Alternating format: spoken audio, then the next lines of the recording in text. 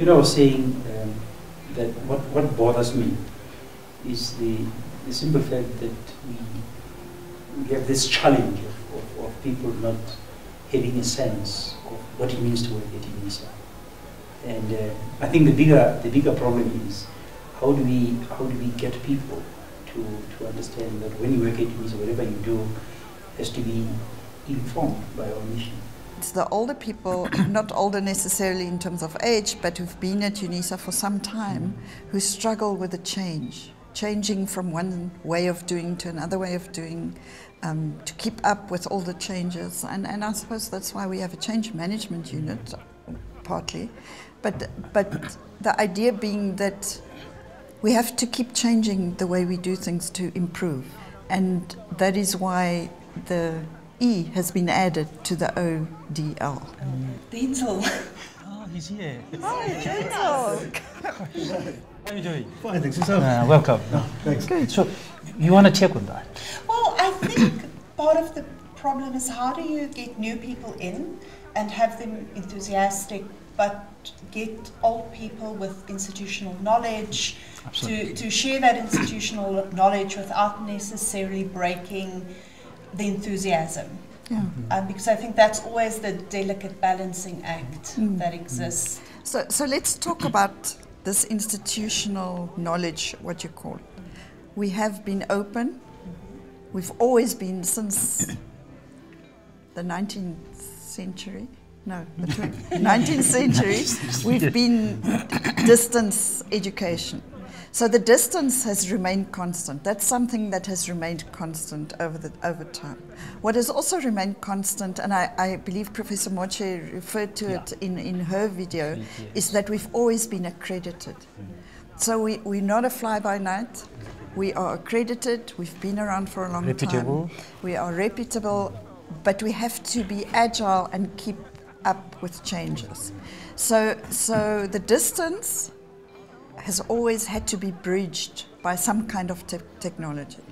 We started with ink, handwritten pens, uh, assignments, even tutorial letters, delivered by post, mm-hmm. delivered by donkey cart and horse mail to post. And those of us who've been here for some time know what challenges we've had with the post office in the mm. past.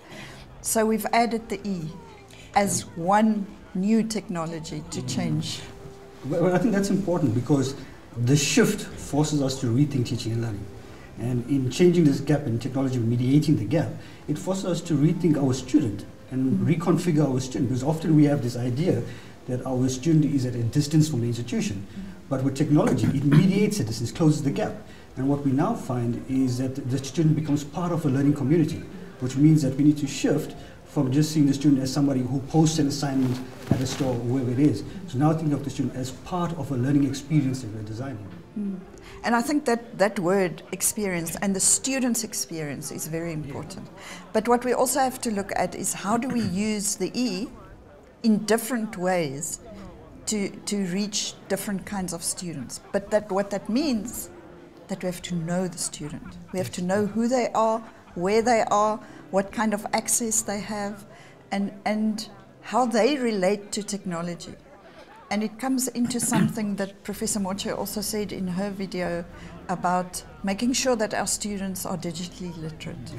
And I think also making sure our staff is digitally literate mm. because it's sort of two sides of the same coin. Exactly. We have to show our students a way of being, and technology, whether it's postal, Yeah. internet, or VR, is never neutral. And I think that's where the problem is. Mm. Yeah. The problem basically, and I think we touched on that in our previous discussion. I think the problem is exactly that. We, we, we have a, a bigger challenge of staff themselves. Yeah. Not being, and there, yes, we spoke about three pillars it's, it's digital literacy, digital proficiency, and, and digital citizenship. citizenship. Those three pillars, our students come with them. Remember, they are born into technology. And, but our staff, so how do we, the question now, as we are sitting here talking about, about this campaign, how do, we, how do we get all these pillars and parameters together? How do we drive the process forward?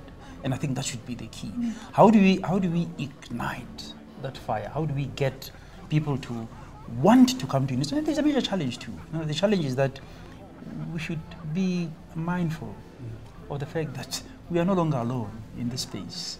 We have competitors, and we tend to take our competitors lightly. Our competitors are involved in very aggressive. Um, they are very aggressively marketing.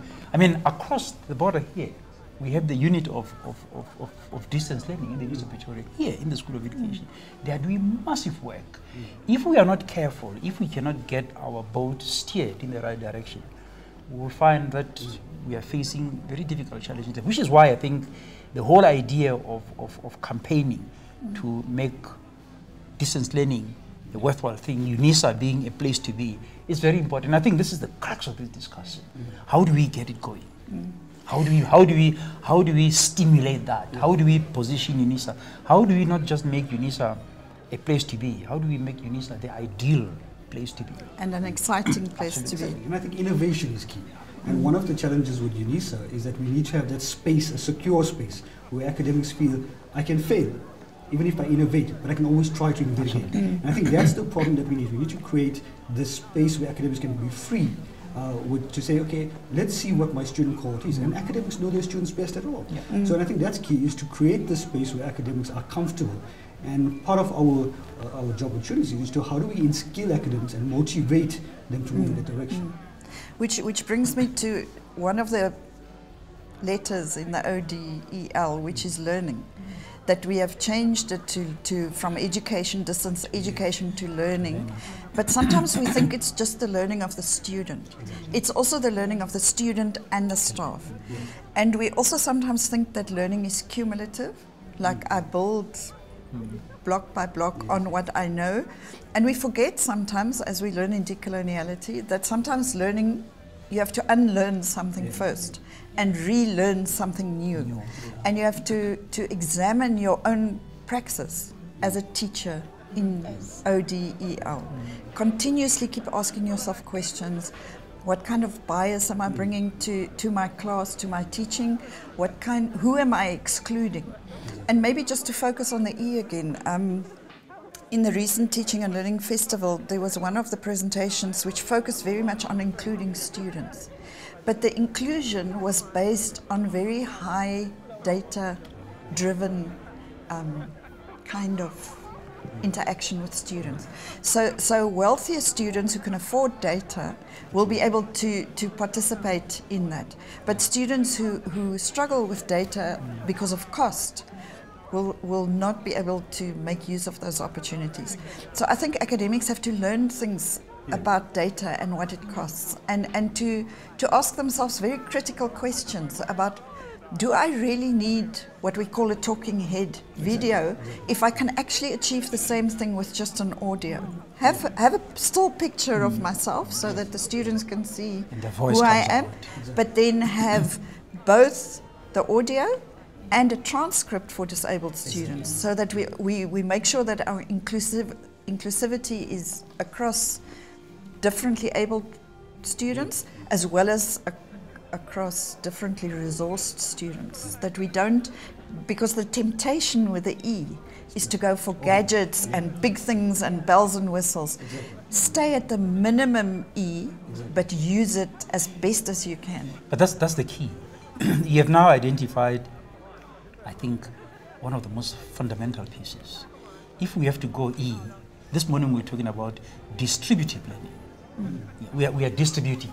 Now, if we have to go E, I think one of the things that we should be talking about is how do we create access to data? That, that should be the pillar. When people register to UNISA, they must know that there is something within our learning management system that allows them to access OER and not to, not to incur expenses because the system provides for that. Mm. So that's, that's, that's a key issue. You mentioned, I mean, if you look at population demographics, you, you have learners who are in metropolitan cities, the data is, but we are, we are not, not that we are not concerned with them, but we are concerned with access. And accessibility means, what about those that are in the outreaches, in the rural? Mm. How do we create a system that that enables those students who are in the hinterlands to say, I can be part of UNISA. We have many agreements with telecenters, with public libraries, and they, the, our library has the mobile libraries. So there are initiatives, but academics need to know. They need to inform themselves about what the university does, rather than just to say, "Oh, I have too many students, rural students, they don't have access." Rather, think of ways of how to do this Yeah.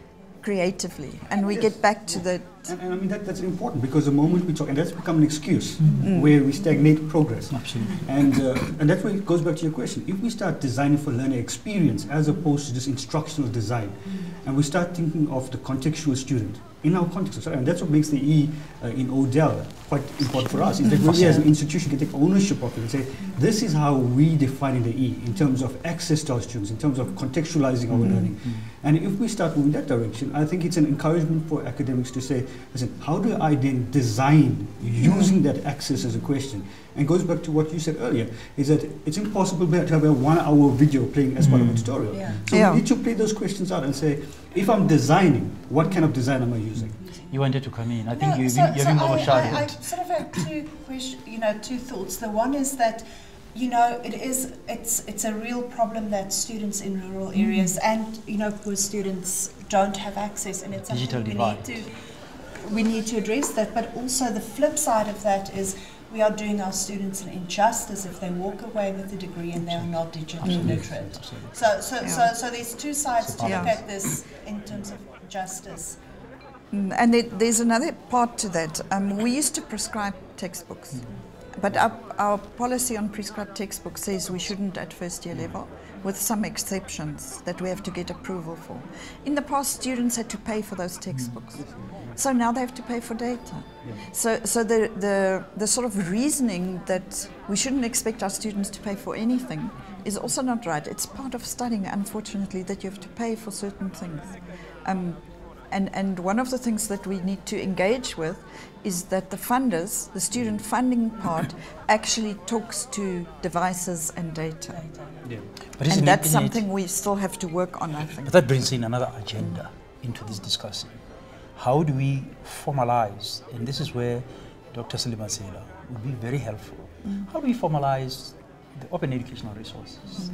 Because that's something that Exactly. we need to be strong on. Open educational resources, there are companies right now that are, that are making resources available Yes. freely. And the question is, how are we plugging into that? For me, that's a useful way of, of, of trying to subvert the idea that data is expensive. Yeah. Let's, let's get agreements broken in o, o, OERs Yeah. so that then our students can access. These are it. So those are, those are, for me, those are the critical debates that we should be Yeah. engaging. But you know, there's another side to OERs. And I'm sorry if I'm going to No. take you on, but no, it's fine. I'm aware of that.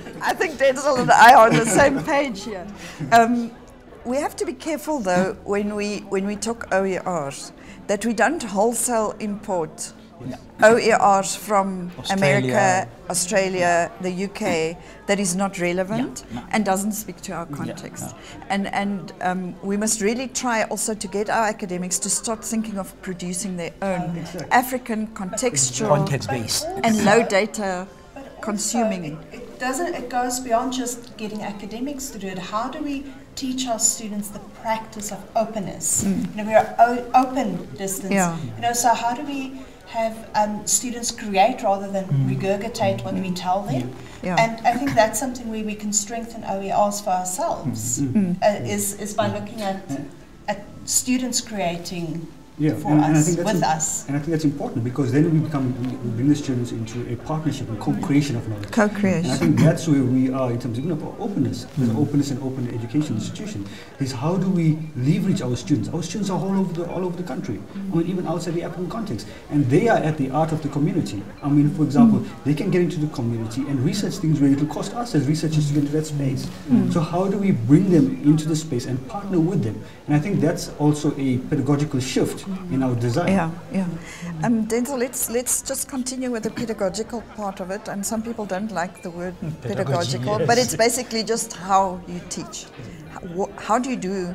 How do you get the content, the skills, the values to your student? But you need to also explain You, you're the educator. Yes, I was, coming, I, was coming, I was coming to say you need to also understand that there's a there's a distinction that has to be drawn between pedagogy on the one hand and andragogy. And, and that's that's I don't want us to get caught up in terminologies, but we do pedagogy when we deal with younger people in, in the classes.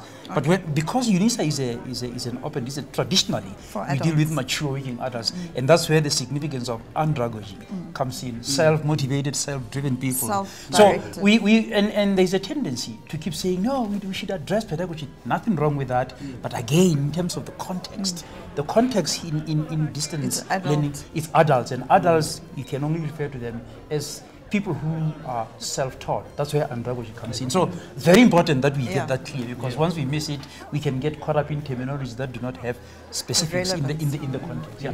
Anyway. But what I wanted to come back to is, is the Dean's statement on what ODEL means. And, and part of that is that the student profile, but also the nature of the discipline determines how you're going to implement the E. So, so the idea is not to have one explanation of what the E in ODEL is, and that everybody and have a sort of a top-down kind of um, instructions about what you have to do to do the E. Um, that you, as a module leader or as a module team, know you know your students, you know what it is you're teaching, the nature of your discipline, and the and, and then you have to the how part you now have to adapt to to what is relevant, what is useful for you in your context. Mm. And I think it, it allows so much space for mm. academics to do new things. You know, mm. gone are the days where you have to have a tutorial letter 101, where you have to have a study guide, you have to have only two assignments. We can experiment and we can be very innovative. And I think I think it's it creates a kind of that kind of, you know, academics like to talk about academic freedom. Use your academic freedom now to experiment and to do new things. But it's a feature of ODA is flexibility. Exactly. yeah. So it's, it's an agile environment and a very progressive. Mm. And one of the challenges that academics have is that I cannot keep my study material up to date. But this allows us. It Exactly. actually addresses the one of the major challenges. Yes. Mm-hmm. So I mean, even with regulations that are changing, we can immediately take it out and bring it in a case study. How do we get create the right kind of culture? The, a culture of innovation, a culture of experimentation, a culture of flexibility, but but with that, and, and let me now play with the words. Maybe the E can also be excellence. Um, that that it's not just about technology; it's about doing it excellently. And for that, we need first of all communities of practice, where we actually talk and share. And, and I think in the past, what you would often have is an academic sitting in their offices with their door closed, not talking to anybody. And, and, and I think that's a culture that we should work against in our tower. spaces. And it's ivory, it's like ivory office, ivory tower, and, and so, so community. How do we build those communities? But then, then to also get to these cultures of excellence, cultures where, where we can stand up anyway to peer review, but even beyond that to be mm. cutting edge. Like you talked about our competitors mm-hmm. earlier on. We mustn't be just looking what our competitors doing and, and saying they're doing better than we are. Yeah, we we the must be leading. Yeah, we set the and stage, and UNISA in some ways does lead. so many people are really getting left behind Yeah. and that's exactly where we need to say this is this is a, a digital globally connected network Castells says it better we are so we are in a global world if you can't keep up you're going to be left Yeah. but we do not want people who are our, our, our staff to be left behind how do we get them on board ingrid I need- i need to yeah because she's been saying how she wants to talk and then, and people are getting in there like, You know, what, I- what I'm just thinking is, you know, doing it that way, what it really requires is somebody that that is confident in themselves enough to, to fail. yeah. Yeah. Yes, and exactly, yeah. an environment that allows failure. Yeah. Um, and, and and, and helps you when you fail to, to, Absolutely. to not fail. Yeah. We, we changed our honours to, to, to be semesterized, all of our modules to be semesterized, and it was a little bit scary, and we did it this year for the first time. And one of the things that we thought would happen is that would uh, lower our dropout rate. Um, and then suddenly my dropout rate was much higher. Um, to start with, it, uh, we kind of gathered students again, and they, they it, it didn't look so bad in the end. But that was one of the things that, that was like, it was a little bit scary because I was like, Yeah. you know, uh, you know the college experimentation, yeah. reputation on the line a little bit. But it isn't, you know, in the end, it, it wasn't as big a failure as I thought it would be. And actually, what we're doing now is our numbers are still higher than, than what they were the last year. Um, but we, uh, what it seems to look like is that we will have more students completing. So we had Yeah. a bit of a bump right at the beginning with more students falling out because suddenly, you know, it's Maybe a lot. workload. Yeah. Yeah, workload, but also, you know, you, you were challenged to do lots But you see, right Ingrid, now. you wouldn't have reached there if you didn't start in the first place. Yes. See, that's the point. That's where the experimentation comes. But the important thing is that allowing to fail. And the support even from management. Yeah. to say it's okay ingrid don't panic. Maybe just to to add another thought it's not really wrapping up it's just mm-hmm. adding It's another thought it's is, is that another dimension is, is around the scholarship. Mm-hmm. That, that we should approach the E as part of our scholarship as, as being intellectually challenging as, as a possibility for research opportunities um, where, where you come in with your chair and, and also to, to look at how do we how do we get the good things that we do out there to show that UNISA is indeed cutting edge. Two things. Yesterday we had Professor Mabwe. Remember how, I don't know what to call it hostile, but how uncomfortable she was with the E. And she said, because we are doing distance and people are away, automatically the E is embedded. Mm. Today I had a meeting, I was in a meeting where we are planning the research week, and it was convened by the vice principal. And Paul Princeton was saying, we need to redefine the E. We shouldn't be talking about the E now. The whole world is now talking about distributive learning. So maybe those are the kind of things that we should be mm. thinking about. And that, that will be some of the things that we bring in as we redefine ourselves. Yes. Because um, I think we were, we were putting Athabasca in, in the picture, but Athabasca, you know, has had problems. Mm. And we were saying mm. we want to, we want to, where did they get it wrong? And they are the ones who coined the idea that rather than E, let's go distributive. We are distributing. Yeah, yeah. Thank you.